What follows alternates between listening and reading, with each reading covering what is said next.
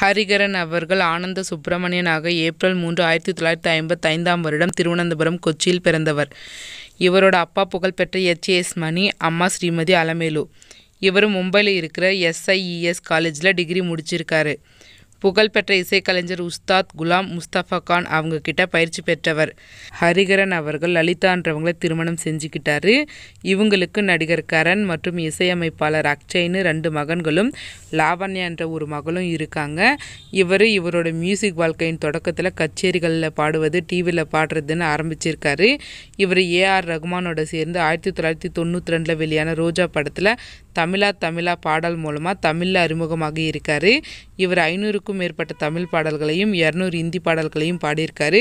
ஆயிரத்தி தொள்ளாயிரத்தி தொண்ணூத்தாறில் லெஸ்லே லூயிஸ் என்பவரோட சேர்ந்து காலனியல் கசின் என்ற இசைக்குழுவை உருவாக்கியிருக்காரு. ரெண்டாயிரத்தி நாலில் பத்மஸ்ரீ விருதும் ரெண்டாயிரத்தி பதிமூணில் லதா மங்கேஷ்கர் விருது சாய் விருது தேசிய விருதுன்னு பல விருதுகளையும் வாங்கியிருக்காரு. இவருக்கு தென்னிந்திய உணவு உணவுகள்னால் ரொம்ப பிடிக்குமாம். தினமும் பதிமூணு மணி நேரம் தொடர்ந்து பாட ப்ராக்டிஸ் செஞ்சுருக்காரு. இவரோட முதல் வழிகாட்டி இவரோட அம்மா அலுமேலு அவங்க சங்கர் மகாதேவன் அவங்களும் ஹரிகரன் அவங்களும் பக்கத்து வீட்டுக்காரர்களாம்.